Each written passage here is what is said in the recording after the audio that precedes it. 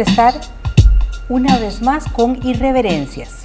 Les deseamos bienestar en el 2017, en el cual Irreverencias cumplirá 13 años de estar al aire ininterrumpidamente, impulsando la propuesta por un Estado laico. Hoy vamos a conocer algunos de los resultados de la segunda encuesta nacional de salud sexual y salud reproductiva 2015. Esta segunda encuesta eh, fue llevada a cabo entre los meses de noviembre y diciembre del año 2015 y para conocer de esos resultados que les acabo de mencionar hemos invitado a Arodis Robles, quien es el director del Centro Centroamericano de Población, a eh, María Fernanda Alvarado, quien es investigadora del Centro Centroamericano de Población, y Juan Carlos Zamora, coordinador de programas de la Asociación Demográfica Costarricense. Mil gracias por acompañarnos en Irreverencias en esta primera edición del año 2017. Muy bienvenidos y bienvenida. Y empecemos por saber quién realiza esta encuesta, cómo es que esta encuesta surge en esta segunda encuesta nacional en nuestro país. Mm, bueno, esta efectivamente es la, segunda encuesta, la, primera la realizamos en el año 2010 y en ese momento nos pusimos el objetivo de realizarla quinquenalmente. Vamos a ver si lo logramos, pero esta primera vez sí lo logramos en el 2015 y, igual que la vez anterior, eh, hubo una unión, una alianza de instituciones del sector público y en este caso organizaciones sociales y eh, de Naciones Unidas, eh, que nos organizamos en una especie de comisión ad hoc encargada de... de ¿Quién coordina? esto le corresponde al Ministerio de Salud, porque es la institución estatal encargada en este, en este caso, pero nos juntamos también la Caja, el, el INEC, el Centro eh, Centroamericano de Población, la Asociación Demográfica y el Fondo de Población de las Naciones Unidas. ¿Qué papel tiene el Centro Centroamericano de Población en el proceso de la encuesta? Bueno, nosotros participamos en todo el proceso desde el diseño, eh, participamos en el diseño del cuestionario, eh, luego en el procesamiento de los datos y en el análisis de la, de la información también. En realidad, el proceso es compartido entre todas las, instituciones que participamos. Hay un comité técnico, donde hay personas del Ministerio de Salud, de la Asociación Demográfica, del Centro Centroamericano de Población y del Fondo de Población de las Naciones Unidas, y hemos compartido todas las etapas de la, investigación. Eh, y esto en respuesta a una convocatoria hecha por el Ministerio de Salud. ¿Cuántas personas se encuestaron? Fueron como 3.215 por ahí anda, un poquitito más de 3.200. ¿De todo el país? ¿Cómo se decide quiénes participan de, la encuesta? Fue una encuesta, eh, una encuesta a nivel nacional, una muestra aleatoria que seleccionó el Instituto Nacional de Estadística y Censo y dentro de cada hogar se entrevistaba a una persona que también se, se seleccionaba aleatoriamente. Entonces al final fueron más o menos como 3.000 y resto de personas. ¿Y qué temas abarcó esa encuesta? La encuesta abarca de todo un poco, abarca desde educación sexual, conocimientos de eh, infecciones de transmisión sexual, eh, fecundidad, planificación familiar, ¿qué más eh, temas tenemos? opiniones sobre, derechos, violencia, sexual, uso de métodos anticonceptivos, este, prácticas sexuales, primera relación sexual y prácticas sexuales recientes de la población son como 16 temas en, Son como general. 16, sí. ¿Y personas de qué edades participaron? Entre 15 y 65, si mal no 64. recuerdo. 64. ¿Quién realizó el trabajo de campo? ¿Ustedes mismos? No, para el trabajo de campo se contrató una empresa eh, especializada en, este tipo de investigaciones y ellos realizaron el trabajo de campo, eh, hicieron eh, bueno, las 3.216 entrevistas aproximadamente eh, en un periodo de dos meses en, todo el país y luego ellos entregaron la base de datos al comité técnico compuestos por estas, por estas instituciones. Una, una, pregunta quizá anecdótica. ¿Hay alguna resistencia de las personas cuando se les hace la encuesta eh, de este tema de sexualidad, que es un tema un poco tabú en nuestra sociedad. No, contrario a lo que todo el mundo cree. ¿Sí? la gente contesta. Y hay dos cosas. Una, el diseño del cuestionario está muy cuidado, fue un proceso muy laborioso de, cómo se preguntan las cosas. Pero además, la encuesta tiene una particularidad, el trabajo de campo. Solo se entrevista una persona por vivienda, nada más.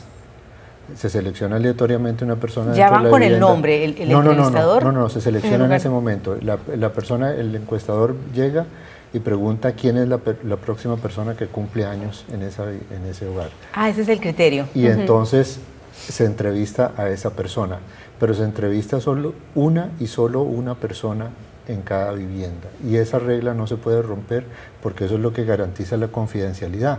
Porque entonces la persona que contesta, solo él o ella va a saber qué es lo que está contestando. Y en general la gente contesta. en privado, me imagino, porque si hay otros miembros de la familia habría... Claro. Por supuesto, y si es una mujer, entrevista a una mujer, y si es un hombre, entrevista a un hombre. Ah. Entonces, eh, eso hace la encuesta más compleja y más cara también, porque es, es, solo una vivienda y hay que, hay que hacer la correspondencia entre encuestador y persona encuestada en cada una de las viviendas. Pero también garantiza Sí, pero la, por ejemplo, la tasa de rechazo, o sea, gente que una vez que abrió la puerta y le dijeron de qué se trataba y dijo que no, fue 14%, que en general es menor que la tasa de rechazo que se maneja en la mayoría de encuestas. Y entre las personas que empezaron a contestar la encuesta y en algún momento dijeron que ya no querían seguir, solo 8 personas del total de personas entrevistadas. Entonces, en realidad la respuesta es muy buena. Por supuesto. Y, hay indicadores que muestran que además son respuestas sinceras. Este, hay como controles de calidad, entonces la, gente quiere hablar del tema y lo, y lo habla con sinceridad, además. Sí, no hay ningún tema en especial que se haya rechazado en particular o que haya habido mucha no respuesta. En general, todos los temas se abarcaron y se abarcaron, se abarcaron bien. Con las personas de todas las edades. ¿No sintieron como que con algunas edades había más eh, problema?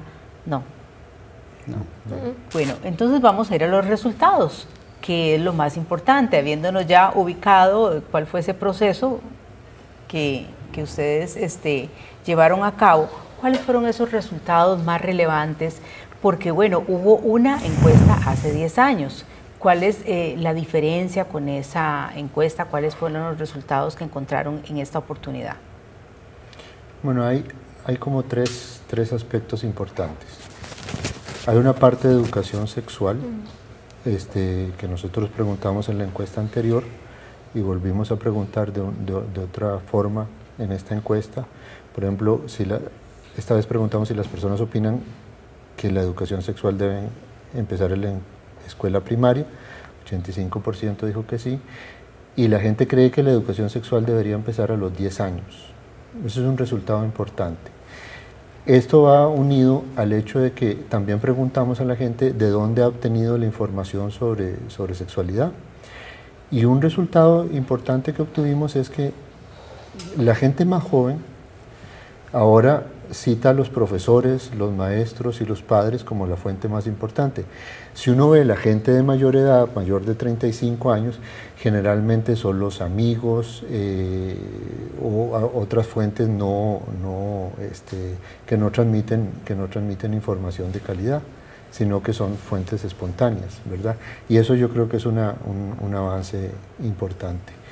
Por otro lado, este, hay algunas cosas que corroboramos, por ejemplo, el inicio temprano de las relaciones sexuales y también la existencia de relaciones impropias entre las personas, particularmente las mujeres, que inician muy temprano sus relaciones sexuales porque eh, una de cada cinco de ellas eh, lo hace con una persona que es 10 o más años mayor. Entonces, eso es, un resultado que también obtuvimos en la encuesta pasada. Luego tenemos otros, otros resultados relativos al, uso de métodos anticonceptivos eh, y hay varias cosas que corroboramos, por ejemplo el conocimiento muy amplio de métodos de planificación familiar, este, la disminución en el número deseado de hijos, cada vez disminuye más.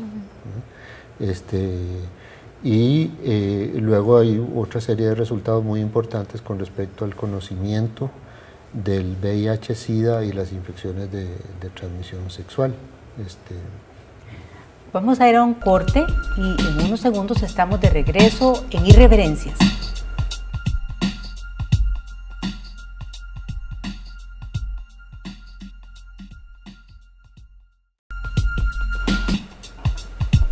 Estamos de regreso con Irreverencias, conociendo algunos de los resultados de la segunda encuesta nacional sobre salud sexual y salud reproductiva realizada en el año 2015.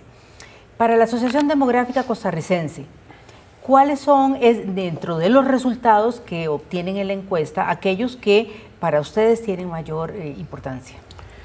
Bueno, en, realidad todas las, preguntas que se hacen, los temas que se incluyen, fueron como cuidadosamente seleccionados para estar ahí y nos parece que todos son de, mucha importancia, de mucha relevancia. Sin embargo, hay algunos resultados que efectivamente llaman, llaman la atención, por ejemplo, en, materia de educación para la sexualidad, así lo llamamos, este, efectivamente, como decía Rodis, las personas más jóvenes parece que están mejorando las fuentes de las cuales toman la información en materia de sexualidad. La pregunta es, lo que usted sabe de sexualidad, ¿dónde lo ha aprendido? Entonces las personas más jóvenes empiezan a nombrar profesores, maestros, padres, digamos, fuentes que, que uno pensaría que son preferibles a otras.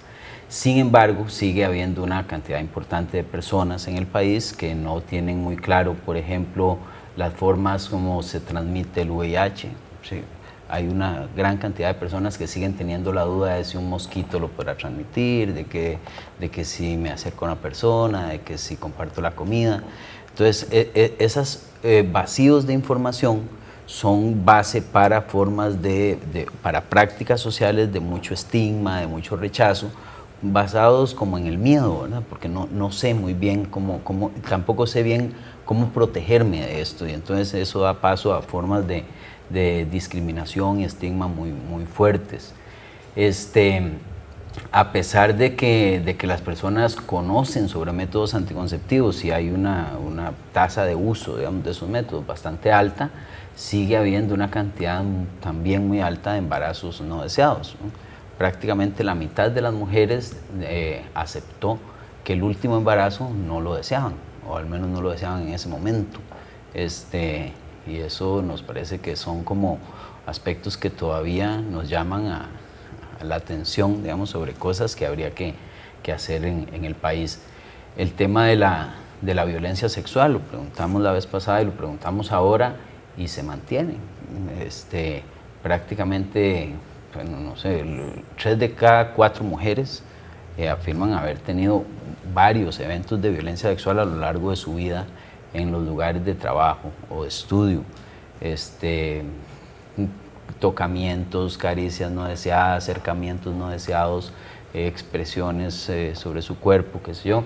Y, y, son como, como aspectos que persisten, digamos, en la, en la sociedad costarricense, que la encuesta nos vuelve a, a decir que eso está ahí y que nos parece que son como llamados importantes a actuar. María Fernanda, desde la perspectiva de la, del Centro Centroamericano y también de suya como investigadora, eh, ¿qué, eh, resultados le ¿qué resultados tiene usted de, la encuesta que, que, sean más llamativos? Bueno, yo en la encuesta pasada estuve trabajando un poco el tema de violencia sexual entonces, en esta encuesta también les di bastante revisión y mm, hay varias cosas en este tema de violencia que son bastante interesantes. Y la primera es que es bien diferenciado, bueno, evidentemente por hombres y mujeres. Las mujeres sufren muchísimo más violencia sexual que los hombres. Y lo otro es que dentro del grupo de las mujeres también hay diferencia dependiendo de las, de las características de las mujeres. Entonces, mujeres con mayor educación son menos propensas a sufrir cualquier tipo de violencia. Em, las mujeres con, con, menor edad, eh, perdón, con menor edad eh, son más propensas a, a, sufrir algún tipo de violencia. Y algo que sí es muy particular, que también lo obtuvimos en la encuesta pasada, es que las expresiones o piropos son reconocidas tanto por hombres como por mujeres en, una, en un porcentaje altísimo. Eh, siempre anda por encima del 75% y en la encuesta pasada habíamos obtenido algo similar. Entonces, ese es el tipo de violencia muchísimo, muy, muy común entre, entre las personas y que es reportada tanto por hombres como por mujeres. Esto, eh, ¿cómo lo preguntan? ¿Es si han tenido eh, situaciones de, lo que piropos o lo que llaman piropos, que en realidad es acoso callejero? Exactamente. En este caso lo que se pregunta es si en el lugar de, se hacen en dos partes. Primero en, la, en el lugar de trabajo o estudio, si a alguien les han dicho expresiones o piropos, o si en otros, en otros lugares ajenos al trabajo o al estudio, buses, en la calle o algún otro lugar, también se pregunta si han sufrido de expresiones o piropos. Y se pregunta también si han sufrido caricias inapropiadas, acercamientos al cuerpo, comentarios sobre la manera de vestir, etc. ¿Y se eh, evidencia diferencia en cuanto al sexo de la persona que responde? ¿Hay más este, casos en, en, cuanto a mujeres? Sí, en general las mujeres son las que sufren un poco más de violencia que los hombres. Em, en la encuesta pasada, yo creo que en esta en esta también habíamos obtenido que entre la diferencia más grande estaba la violencia física. El, digamos, la brecha más grande está en ese tipo de violencia que ya es, es una violencia no de expresiones superiores, sino que ya es, algo más físico. ¿Cuál, ¿No recordás cuáles son los eh, datos, porcentajes? Mm, no, realmente no, pero creo que están por debajo como del 18%, están por ahí. 18% de la población encuestada dice que ha tenido esa, esa eh, situación. Ajá, sí. El, al menos de algún tipo de violencia de tipo físico. Ah, de tipo físico. y esas, esas de ese 18%, el 100% son mujeres. No, lo que pasa es que el porcentaje de mujeres es un poco más alto que el de los hombres. O sea, la brecha en este tipo de violencia, la brecha es, es la mayor entre hombres y mujeres. Ah, ok. Y en relación a la encuesta anterior, ¿hay cambios mm, muy significativos o se mantienen los datos similares? En general, esta encuesta corrobora varias, varias tendencias. Eh, una primera que ya mencionábamos es la disminución del número deseado de hijos.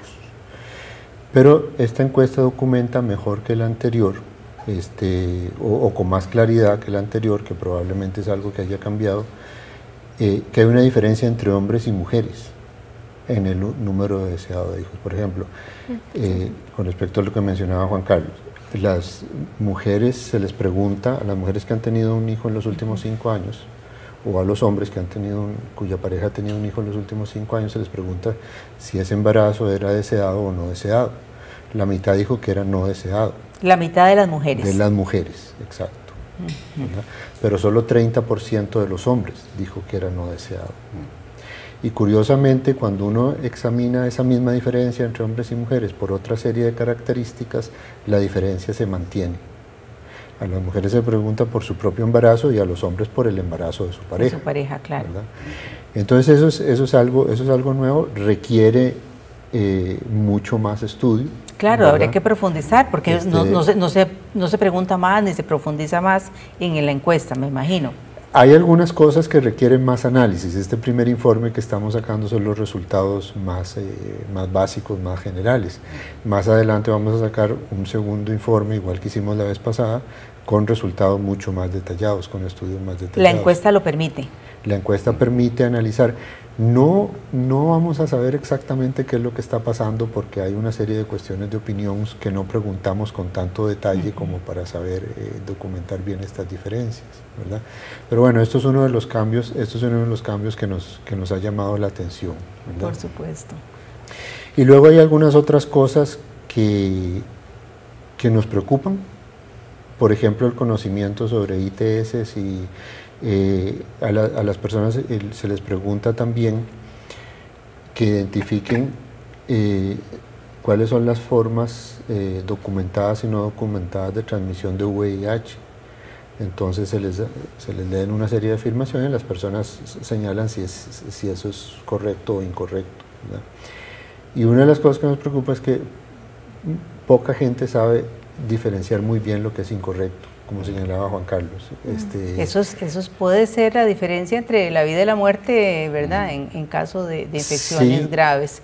Quiero hacer un corte comercial y que profundicemos un poco más acerca de ese tema de infecciones de transmisión sexual porque es muy importante para todas las personas y para la gente joven en particular. Estamos de regreso en unos segundos con irreverencias.